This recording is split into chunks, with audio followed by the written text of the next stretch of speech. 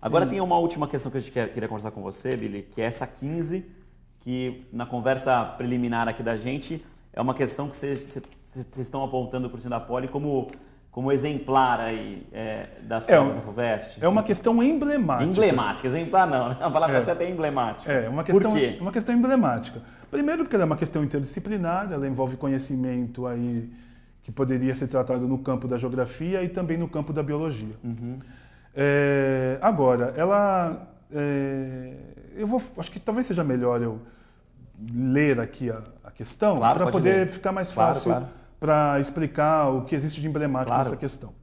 Então a gente, a gente tem aqui, né, a questão de número na prova, a questão de número 15, Amazônia, Mata Atlântica, Caatinga e Cerrado são biomas encontrados no Brasil. Aí a questão A pede para que liste esses quatro biomas em ordem crescente, de acordo com a extensão da área que cada um deles ocupa atualmente no território brasileiro.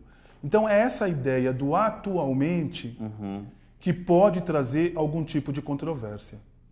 Então veja, nós optamos, nós do cursinho da Poli, optamos por eh, descrever, responder em ordem crescente, Mata Atlântica, Cerrado,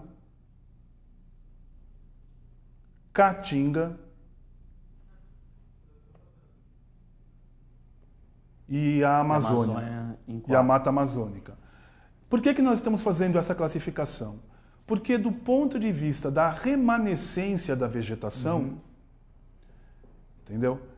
Por ordem aí, a Mata Atlântica, Cerrado, Caatinga e Amazônia é aquelas que vão tendo os menores, vai do menor para o maior, maior nível de preservação. Entendi.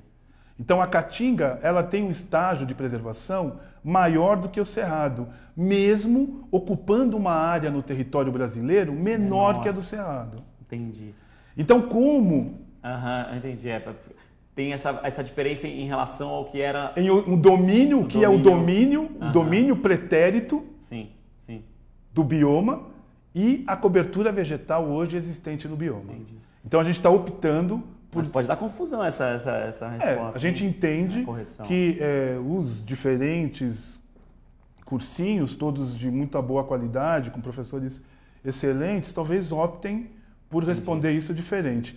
E a FUVEST, obviamente, vai ter que justificar essa. Essa a gente entende que talvez seja Uhum. uma que, que traga algum nível de controvérsia aí. A B, ela é mais tranquila, porque ela pede para listar quatro biomas em ordem crescente de acordo com a quantidade da- de água disponível para as plantas no ambiente, e essa está diretamente associada aos- às aulas de clima, Aham. né? Então, os índices pluviométricos poderiam ajudar a identificar aqui qual é a sequência. Então, a sequência é Caatinga, né, semiárido, o Cerrado, a Mata Atlântica e a Floresta Amazônica. A questão C, que também pode eh, trazer algum nível de controvérsia, e nós optamos em responder que a- o bioma que concentra entre os dois propostos aqui, comparando a Mata Atlântica com a Caatinga, qual dos dois biomas possui solos mais ricos em nutrientes, a gente optou por responder eh, a Caatinga. A Caatinga. É. Eu iria na Mata Atlântica É, eu acho que de prima, assim.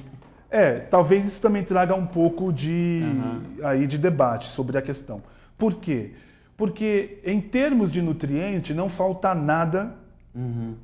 a, a caatinga. Você vai encontrar nitrogênio, fósforo, você vai encontrar em geral todos os nutrientes. O problema da caatinga é exatamente a ausência da água. Sim. E é exatamente o elemento água que talvez crie uma dificuldade para apontar a Mata Atlântica Entendi.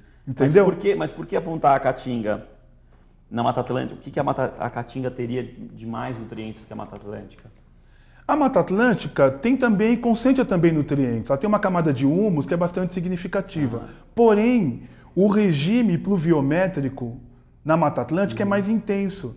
E a água tende a retirar os nutrientes da cobertura do solo e depositar nos cursos d'água. Sim, sim. Como lá chove menos, existe uma concentração, concentração maior, de maior. nutriente, entendeu? Que não se expressa, obviamente, na, no extratos da vegetação por conta entendeu? Da baixa quantidade de água, mas há nutriente. Nossa, que difícil Por metro essa- quadrado, essa é, não é uma questão simples. Essa- por isso, por isso que a gente essa- está dizendo Para finalizar, pra finalizar, professor, essa D é tranquila? Cerrado ou Amazônia aí que tem maior, sofre maior impacto do É, é. negócio? O, a pessoa, o estudante que prestou atenção na aula sabe que com tranquilidade que é o cerrado. É o Cerrado. né? É, o agronegócio no cerrado impacta mais o cerrado, né? É o que tem Uhum. Sim. criado essa situação de desmatamento maior do que na Amazônia.